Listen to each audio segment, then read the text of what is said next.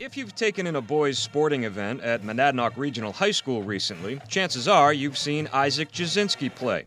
That's because he pretty much plays them all. Isaac is a senior captain of the soccer team, but also plays hockey, lacrosse, and even football. It's awesome. It just I love playing sports. I love being an athlete and being able to do multiple. I just love it. It's awesome.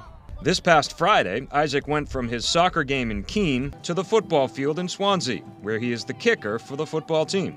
It's been great. Um, the guys are awesome. I just love, you know, going out after soccer, kick a ball for about half an hour, and uh, it's just a great atmosphere.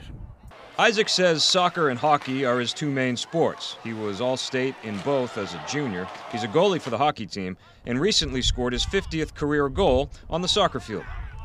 I really love just the game in general. Like every morning, if there's a game on on the weekend, Premier League, I watch that. I just love the sport. In his spare time, as if he has any, Isaac is a student coach for the Keene Youth Hockey Club. That was the club I played at all my youth hockey. So just to go out there and work with them, it just feels great to be part of the organization still.